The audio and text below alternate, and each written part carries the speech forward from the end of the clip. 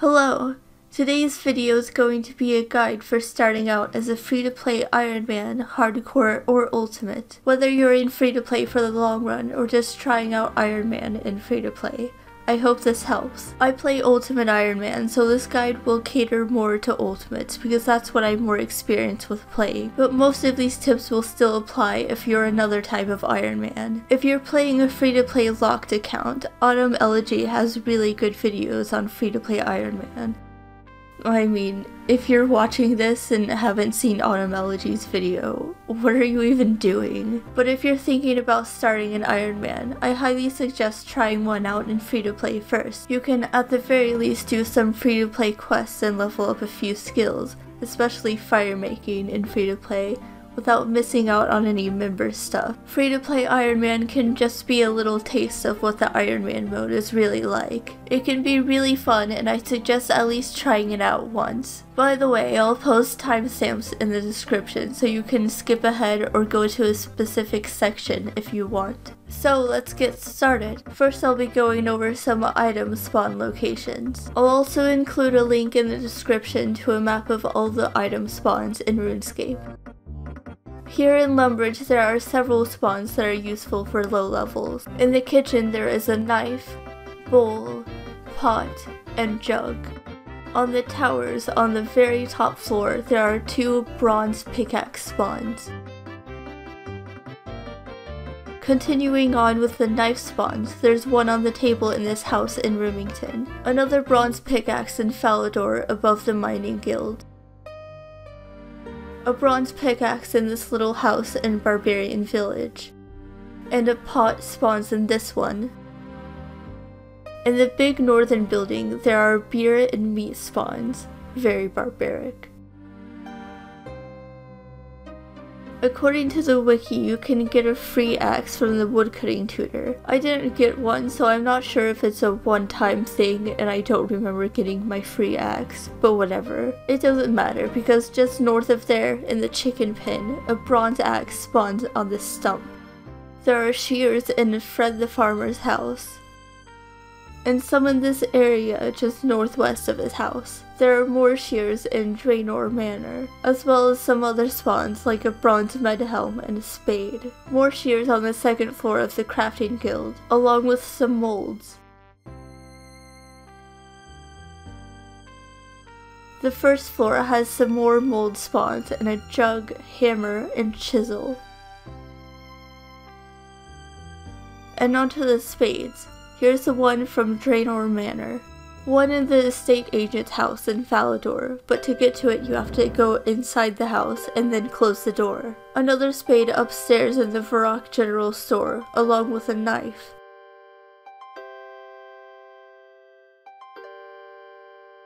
There's another knife here behind Bob's axe shop in Lumbridge, but the knife from the kitchen is probably always easier to get to. On Karamja there are a few useful spawns in the general store here.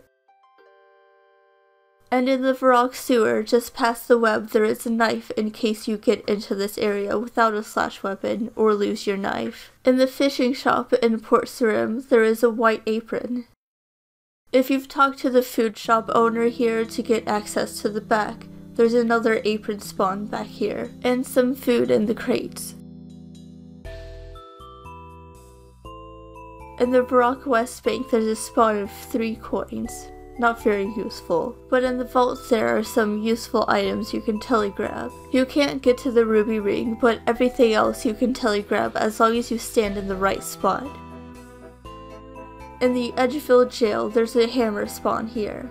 Leather boots in this house in Al More leather boots in the Wizard's Tower. Leather gloves in Edgeville, just south of the place that shall not be named. More leather gloves in Father Urhney's house. A leather body in this house in Varrock, south of the rune shop. There are a few other spawns. There are a lot of item spawns in the wilderness, but I didn't want to go too into detail. Next I'll be going over the shops and where they're located. There are of course a bunch of general stores around the game. You can find a list on the wiki, which I'll link in the description. So going in alphabetical order, first are archery shops. There's one here in Rimmington, and a crafting shop next to it I thought I'd quickly show. The second archery shop is in Varrock. An axe shop in Lumbridge. A battle axe shop in Port Sarim. A chainmail shop in Falador. A clothes shop in Varrock where you can also change your default clothes. A crafting shop in Al Kharid. Fishing shop in Port Sarim. And a food shop just south of it. A gym shop in Falador. A similar gym shop in Al Kharid. A silk trader in Al Kharid if you're doing Dragon Slayer. A helmet shop in Barbarian Village. A jewelry shop in Port Sarim, although the stocks default as zero, so it's really just there to sell things to, not buy from. A kebab shop in Al Kharid, which is a good way to get cheap low-level food a mace shop in Falador, a rune shop in Port Sarim, as well as Varrock, a pickaxe shop in the Mining Guild, and a place to sell ores here too. A small mining shop here in the northeastern part of the Dwarven Mine, and another pickaxe shop to the west, an armor shop in Varrock, plate legs shop in Al Kharid, just south of it is plate skirts, which have the same stats but actually weigh slightly less, so are better for running around in. A scimitar shop here in Al Kharid, which are the best weapons until rune swords. A shield shop in Falador. Staff shop in Varrock. Sword shop in Varrock that goes up to Adamant. Diango's shop has a lot of interesting things. One really useful item is the Chronicle, which you can buy charges for here, and it will teleport you to just outside the Champions Guild. There's also the wine shop just north of Diango, really good high healing food if you're not using combat. Last shop I'm showing is the bandit camp shop, where you can sell items for the high alch value. You just have to be careful of the bandits if you're low level, and PKers in general. For ultimates, the last man standing coffer is great for storing your money. You just have to set it up in a last man standing world, but then you'll be good to store your money anytime. You can teleport here using the last man standing teleport in the minigames tab, and you'll be safe as long as you have a way to teleport out. Which brings me to the next section, transportation. A quick tip is to run when you have less items on you, and walk when you're carrying more. Your run decreases faster the more you weigh. So if you're skilling or doing something where you switch between having a full inventory and an empty one, remember to run when it's empty to save your energy.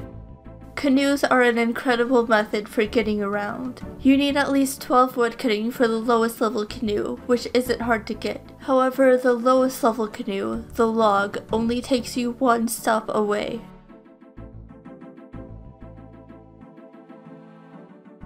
At level 27 you can use the dugout to go a bit further. At level 42 you can make a stable dugout to take you up to 3 stops away. And lastly, at level 57 you can make a waka, and it can take you to any stop, including the one in the wilderness. If for whatever reason you're ever in Al Kharid and need to get to Port Sarim quickly, Talk to Shantay and tell him you're a criminal. He'll put you in the little prison here and ask you to pay a fine to get out. Tell him no, and he'll send you to the jail in Port Sarim. To get out, just lockpick the door.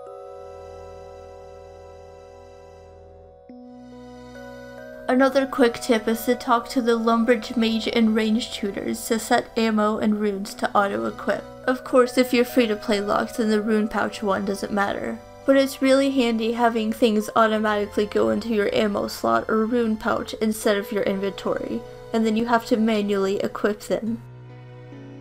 Now let's talk about random events. Of course if you want the emotes or random event outfits then do those.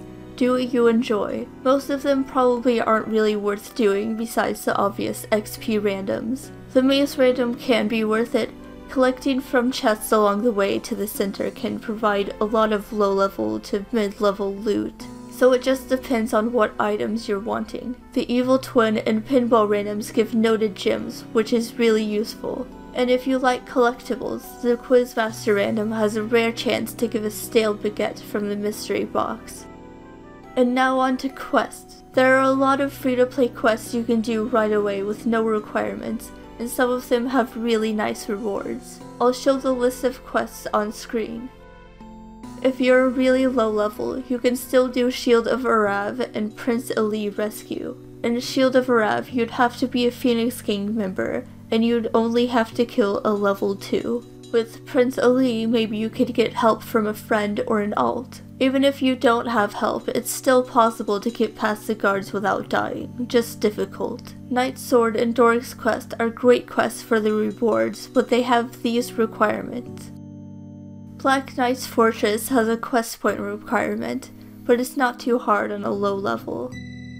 Now then, I'll be talking about combat. If you're thinking about going on to becoming a member and want to do Wintertodt right away, I'd suggest staying away from combat. You can still do Restless Ghost for the prayer XP, and you can do some combat, but try not to gain too much hit points XP. But if you don't mind training combat, you can quickly get 8 attack upstairs in the Varrock Castle at the dummies. Even if you stay level 3, it's not impossible to do the Stronghold of Security without dying. You just have to run quickly through and click on the next door as fast as possible. But once you've done the Stronghold of Security, you can use these portals at the beginning to get to the center, which is a quick way to get the boots back. If you need GP, I have a guide on money making on a free-to-play Ultimate Iron Man, and some smithing and crafting guides that could help as well. But basically, steel plate bodies and steel plate legs are the best way to make money if you're not a high level. Now on to other skills. Most skills are pretty easy to train. Of course I have a couple of free-to-play skilling guides if you want to check them out. I go over the methods in detail and then test out an hour to get the accurate XP and GP per hour. Rune crafting is hard and free to play, but one thing that can make it easier is not completing rune mysteries. That way you can keep getting free air talismans from the Duke, and then you can combine them with silver tiaras for pretty decent rune crafting XP. If you haven't seen my crafting video, basically silver is the fastest way to train. You can easily train prayer at the bone graveyard, picking up the big bones and hopping worlds, or maybe the small ones too. Otherwise, the best methods to train prayer are killing hill giants and ogresses. You can get noted essence from minotaurs, which is a lot faster than mining it and Ultimate Iron Man friendly. Now for gear and ammo. Ranged gear is great to wear around if you need protection but you're going to do a lot of running. It's much lighter than metal armor but decently defensive. Once you've finished Imp-Catcher, you can get another Amulet of Accuracy anytime from the mage as long as you have all four beads, and this is the best in slot for range until you can make a power amulet. For runes, you can kill ogresses and dark wizards for different types. Moss giants frequently drop nature runes. There's a cosmic rune spawn in the wilderness if you're that desperate. You can also get law runes from Ankou, but I'm pretty sure ogresses are better now. If you're staying in free-to-play for a while, this is what best in slot melee armor looks like without extremely high smithing. You can buy most of the best armor from the Champions Guild when you have access to it. And of course after Dragon Slayer you can buy a rune plate body and a green d'hide body from Oziach in Edgeville and this is what best in slot range gear looks like. Of course the maple shortbow can use higher level arrows, but as a free to play Iron Man, you don't have access to anything higher than mithril arrows. And lastly, here is best in slot mage gear. It's not much, but this maximizes your mage attack bonus and adds some defense without decreasing your mage attack. Fire spells are typically the most powerful, so it's good to carry a fire staff so you don't have to buy a ton of fire runes because fire spells always use more fire runes than air runes. These next two sections are specific to Ultimate Iron Man. First is suiciding. I'm here on my lower level ultimate to show how to suicide. This is for if you need a completely clear inventory space but don't want to get rid of your items. Or maybe you're going into the wilderness or going to a boss fight and don't want to lose everything. If you're a lower level, it's pretty easy to suicide here at the unicorns near Lumbridge. Otherwise, you could decrease your HP somewhere else and then teleport to Lumbridge to let the unicorn finish you off, so that you'll spawn in Lumbridge and easily be able to go back and get the items you need. Or when you're done doing whatever, you can just teleport back to Lumbridge and grab your stuff. So, ultimates lose everything on death. It now includes untradables, they'll drop to the ground along with everything else. So you can keep your items there for an hour and not have to worry about them. They despawn after an hour though, so don't take too long. There are some things that are completely lost on death and don't drop on the ground like the Chronicle. I had the Chronicle on me when I died, but it's not in my death pile, as you can see. There are some other untradables that are totally lost on death, and I'll include a link to the wiki in the description.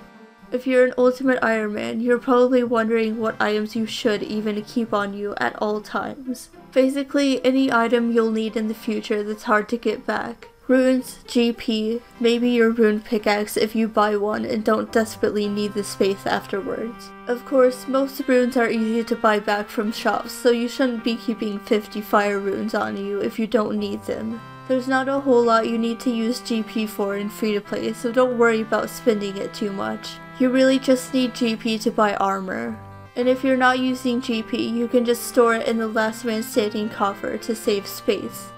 Well, that's it for now. I could go more in depth about certain things, but I wanted to just make a beginner guide for people starting out in free-to-play as an Iron Man. I started my first Ultimate in free-to-play for the first couple of months and it was really fun doing all the quests and training some skills. I highly suggest trying out different Iron Man modes in free-to-play and trying to get your stats to at least the 30s and finishing all the free-to-play quests. Even if you don't want to get high combat, you can just flinch Elvarg, and all the other quest bosses are easy. Free to play is a great way to explore the game mode without feeling like you really have to dedicate time to it. I'll link some free to play Iron Man resources in the description or the comments, so look out for those. And if you have any tips or resources yourself, feel free to let me know in the comments. Have fun playing your sick new Iron Man account.